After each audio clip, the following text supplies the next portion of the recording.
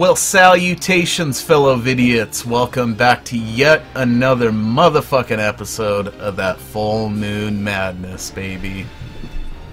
Unfortunately, the market is out of old Germans. I bought their asses out. I've been trying to avoid the Mickeys lately and stick to that stuff because it's considerably lighter, but unfortunately, it's come to this. In any case, we're going to make the best of it. Today's episode is important for two different reasons. It closes out our first wave of reviews and kicks off our second wave of pickups from the Valentine's Day sale or the Valentine's sale, whatever the fuck. It wasn't just one day, it was like two weeks or something like that. I got an absolutely epic haul from it, not least of which is Seed People. This is one that uh, I definitely knew that I was aware of it in terms of the title and the cover but I was unsure if I'd actually seen it or just seen bits of it in video zones. After watching it for this review, it became quite clear it was a movie I'd seen several times as a kid. I want to say I rented it at least once or twice, and probably saw it on TV once or twice as well because there are a lot of scenes in this that were super familiar that I remember seeing, you know, multiple times as a kid.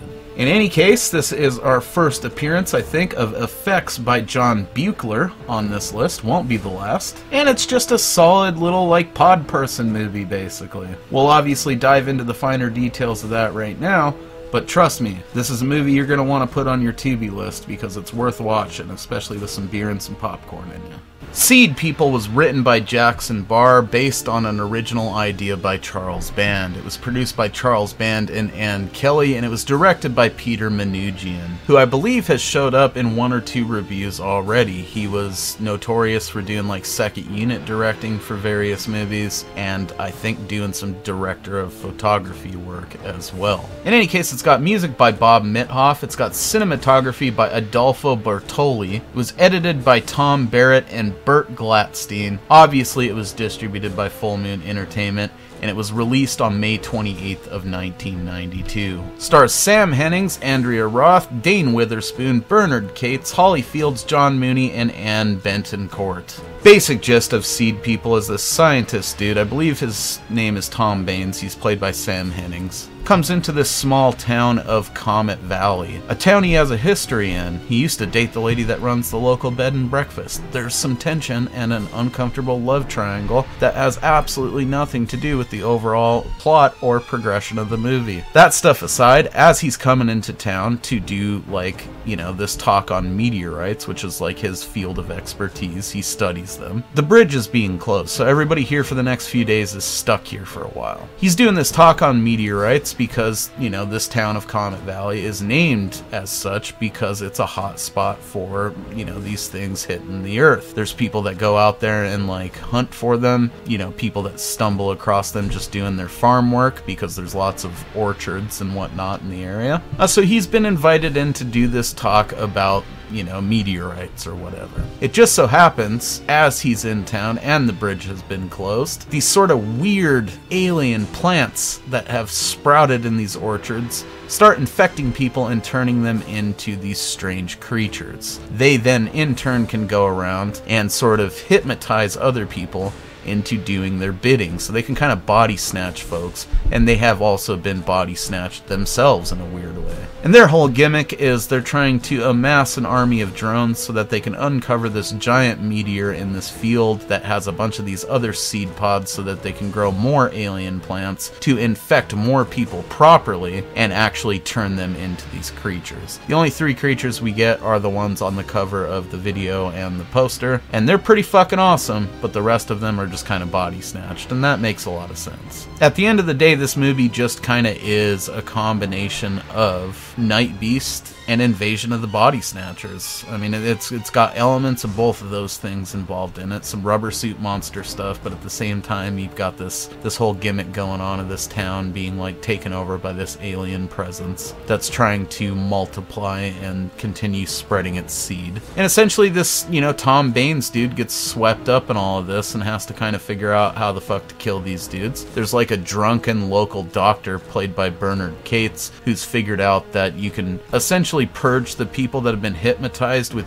like strong doses of UV light. But the only way to kill the actual creatures themselves, since they're plant based, is to just hack them into a million pieces and like burn them up, or you know, real strong pesticides, or you know, destroying the seeds before they can be created to begin with. So that kind of becomes their whole goal in the movie, and they kind of bumble around attempting to complete that. There's lots of fucking cool action, some decent explosions at a couple of parts, if I remember right. It's just a solid little sci fi B movie flick. A small town besieged by alien beings and the local good looking doctor guy sorting it out. Seed People isn't trying to be amazing. It's not trying to blow your mind. It's just trying to keep you entertained for 90 minutes. I realize there's stuff that probably could have better described this than a combination of Body Snatchers and Night Beast, but it does very much have that like campy, fun, small town rubber suit monster movie vibe with a bit of that loftier idea as far as the science fiction stuff goes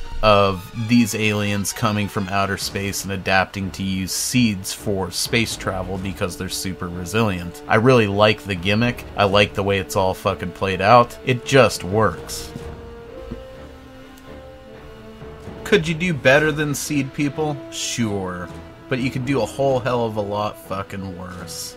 Not every movie has to blow your mind. Not every movie has to reinvent the wheel. Sometimes a movie can just be fucking fun. And Seed People is a great example of that. Absolutely cannot recommend this enough. Should it be at the top of your fucking Tubi priorities? No. But, like, just fit it in there wherever you can when you can't decide on what to watch and you just want something that you know is solidly good, but maybe not amazing. Especially like the creature design in this. I think they look really fucking cool, and that's why the cover art and poster art will be forever bone chilling. Look at those fucking things. Absolutely terrifying. Be sure to tune back in when we take a look at the rest of our swoops from that Valentine's sale. I assure you it will be just as good as our first swoop special, if not a little bit better, because uh, we will be featuring some more trailers in the second one. So. That's all we got for tonight, guys. This has been yet another episode of that motherfucking full moon madness. I have been Mosley, you've been a bunch of sexy beasts, and we will see you back here real soon with that swoop special to kick off our second wave. Cheers. Thanks for watching.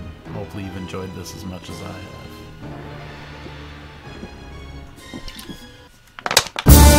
The world of Full Moon lives online at fullmoondirect.com. Classics like Puppet Master, Demonic Toys, Subspecies, and more recent favorites Ginger Dead Man, Evil Bong, Killjoy, and more can be found at FullMoonDirect.com on DVD, Blu-ray, limited edition box sets, replicas, toys, shirts, and more. Only available at FullMoonDirect.com.